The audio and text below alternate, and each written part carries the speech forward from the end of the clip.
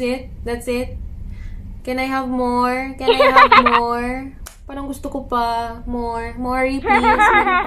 Hello everyone! It's another day and that means another reaction video. So for this morning, of course, wala nang iba. None other than we would react to Morissette. Yes, you heard it guys. Our favorite human for now is Morissette. Guys, um, nag-scroll ako sa YouTube of course and I found it was very interesting. Okay, it was from Always Be My Favorites. That's her channel. And the video is entitled 10 times Morissette I won't forget she was human. Forgot she was human. So, from the title itself, guys, it's very interesting already, right? And especially it's all about our dear, our queen, Morissette. I asked permission from the owner, of course, bago ako mag-react, guys. So, without further ado, let's go! Okay.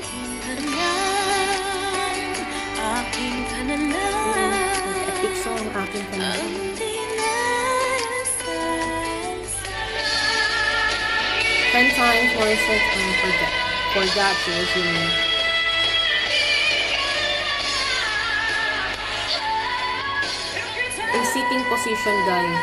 Okay, listen by Beyonce. Bro.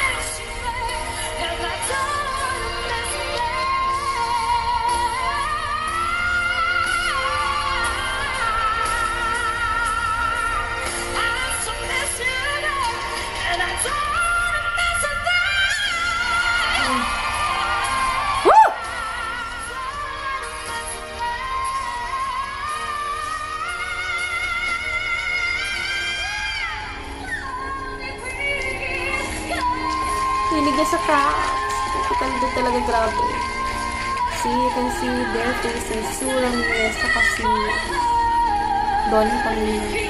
Oh my God. Ay, napanood ko to. Napanood ko to. Okay.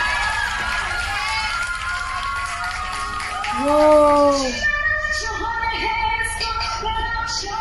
Ayan, may goosebumps na naman ako guys. At hindi nyo mapapansin. Hindi nyo makikita ang nipis eh.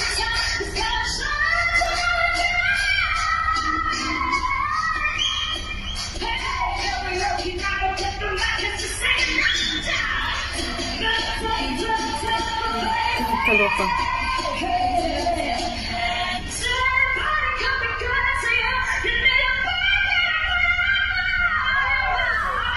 Woo!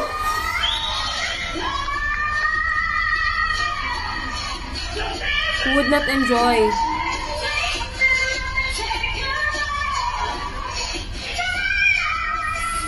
Kailang G5 siya dun.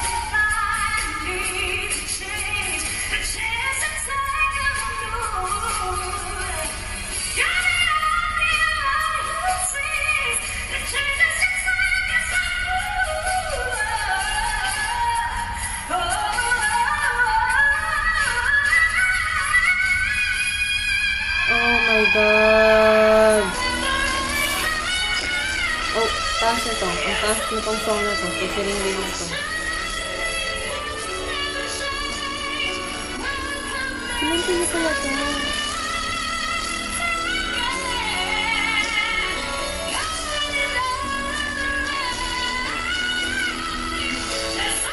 Gusto ko tong video na to. Pinapakita yung no. Oh my God.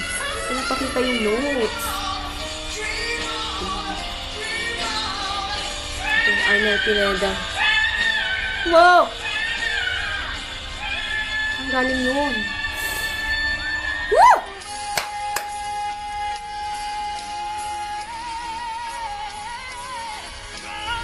Whitney Houston. Kanto yun. Ano ba? Ah, yeah, ito yung nag-battle sila ni Jed. Oh my God. Lampasong lampaso si Jed here. Sorry, sorry Jed. Sorry. Napanood ko to. Gustong gusto ko.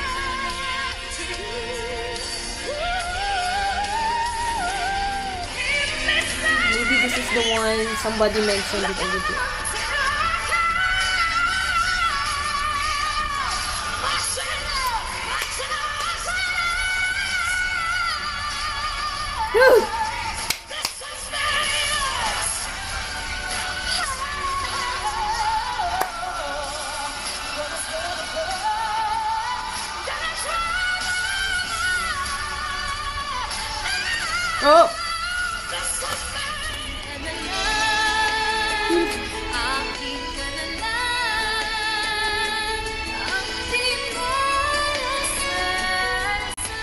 That's it? That's it?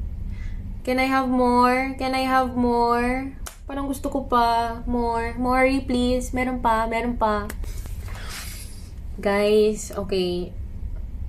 Actually, every day, guys, I'm taking vitamin C, but I have vitamin M. I think. Vitamin Morrison. She makes my day. Okay, guys. Um, ang heart ko napapahappy. Um, honesty and um, originality, vulnerable, vulnerability. Siguro yun yung mga aspects na gusto niya talagang ipa, iparamdam sa not just her fans of course, sa lahat, sa audience niya. And you know, kitang-kita naman guys, how she would guys, I'm not an expert, okay? Hindi din ako singer or anything, but then, as what I have observed, for me lang, she has this breath control talaga, and, alam mo, like, um, I've, I've read an article, okay, Ariana Grande, given, um, sobrang galing niyang singer, right? Soprano thing, like that. Pero, sabi ng iba, um, the breath control, hindi ganun katindi pero nakikita natin with Morissette. Ewan ko lang, I'm not into favoritism, pero sobra. Like, ba diba, any songs she would perform, kahit, and ang maganda pa kay Morissette, she is choosing interesting songs, or maybe, mga producers niya, or whatever, kung, if ever meron siyang concert. Pero ba diba, I mean, as a singer, kailang, no, as, as sa kanya ha, pagiging Morissette, as a singer niya, siya, pagiging siya. Sorry, nabubulol na ako.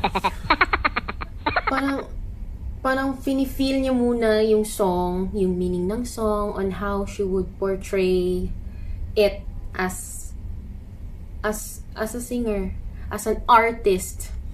You know, and, um, yun yun eh, yung technique niya to communicate the emotions and adding texture on her own sound. Yun yun yung talagang grabing na-appreciate natin with Morissette. Not just dahil kaya niyang ikanta, ganito, ganito, ganyan, ganito, na-hit niya yung ganitong notes or what. ba diba? And,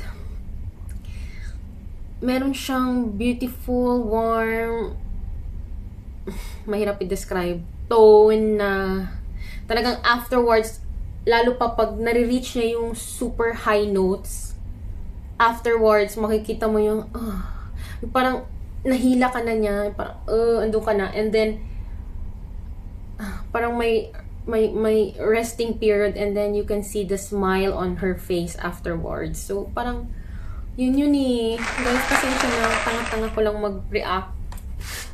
Pero, gusto ko, yun yung feeling every time you watch a performance from our dear Morissette. Okay, so, bago pa kung saan-saan mapunta, ay, by the way guys, gusto kong mag-mention kasi yung may mga nag-comments on my previous reaction video, yung, wait guys, sorry, sorry, yung, um, Morissette Amo with international artists. I saw, okay, shout out again, it's me Fort 17, yung na nasabi mo, and yung shinare ko na nahawakan ko ang kamay ni Morissette during one of our concerts. Nung, okay, nasa Kuwait ako now, pero nung nalaman namin may concert si Morissette sa Dubai, of course, sumugod. Sumugod po tayo, kahit 2 days, 3 days lang ba yun, talagang pinuntahan ko, and ayun, siguro hindi naman na, I mean, okay, nag-front seat kami. Pero, walang meet and greet eh. Kasi that time kasama niya si, okay, di ba? Piolo and Ogie na yun. Pero talagang I go after that concert because of Morissette. No other than Morissette. And guys, alam nyo, sana, kasi nagpalit pa, nag-change, change na akong, palit-palit.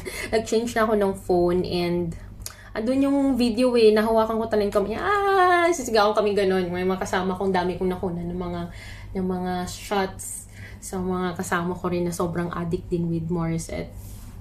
Alam nyo guys, ang hirap kasi maging, you know, sub, yung parang ma-express mo yung pagiging fanatic mo, especially kung busy ka. Guys, um, nurse ako and napakahirap na parang, pero at least from time to time, like, like kung walang patients, eyebrows, kung ano na yung updates with their, ayun siya guys. Love po talaga si Morissette. So, hopefully, hindi lang sa mahawakan ko lang kamay niya, basta lang mahawakan ko kamay. Gusto ko talaga siya ma-meet in person. So, kailan?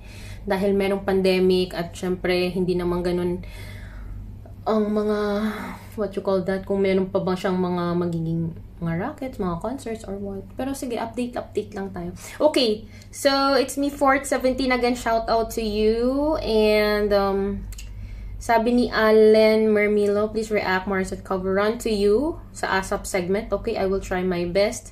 And Stephen Cost, you can tell all these people generally love and care for her, especially Michael Bolton and Jessie J. Yes, correct. Correct. Kaya nung, yeah, again, it's me Fort 17, nung minention mo sa akin, yung video wherein umiyak lang siya ng umiyak during her Kumu live. Talagang yes. Sobrang na-feel niya kasi on how Jessie J appreciated her that much. Kung ka, paano siya na-impress. ba diba? As a fan din of Jessie J. Pero, alam mo yun, yung feeling na, hello, mas magaling ka pa kasi kay Jessie J. Joke. I'm just joking. Yeah, ganun kagaling ang ating Morissette. So, let's be proud. Hug tayo, guys. Okay, anyway, enough na. Siguro sobra-sobra na. Okay, guys, another reaction video. Watch out and see you. Bye! Don't forget to subscribe and like the video. Thank you guys.